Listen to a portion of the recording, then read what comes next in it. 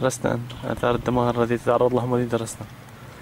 جرائم قصف بالمدفعية والطيران.